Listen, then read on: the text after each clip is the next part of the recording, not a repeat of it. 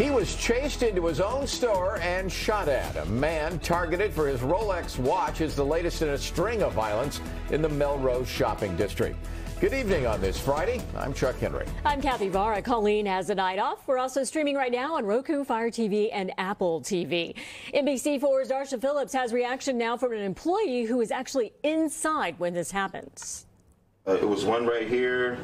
Um, there was another right here. Anquan Hayden points out the bullet holes in his brother's store, Gentry Garb, in the Melrose district. You hear two loud, real noises, like, you know, bow, bow, and then you hear like four after that. Hayden was in the bathroom of the store on Sunday, April 10th, around 6 p.m., when two men seen here on surveillance footage ran in after Hayden's brother and started shooting. What goes to your mind? My mom, you know, she only has two kids. You know, and um,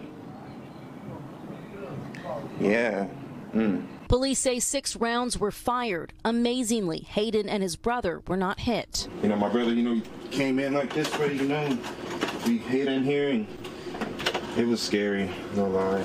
It was it was scary, like an active shooter situation. Hayden believes the men were trying to rob his brother, who was wearing an expensive watch. The two men got away with nothing, ran back to their car, and left.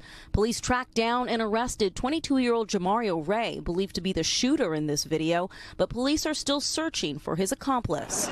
These types of robberies are an all too familiar occurrence in this area. A few months ago, the store next door to Gentry Garb was robbed at gunpoint.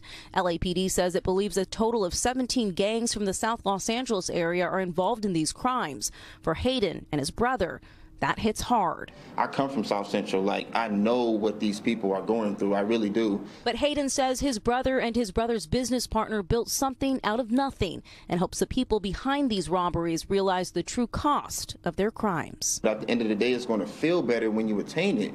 Because if you just take something off, you know, that's fast money. That money don't last. Reporting from the Melrose District, I'm Darsha Philips, NBC4 News.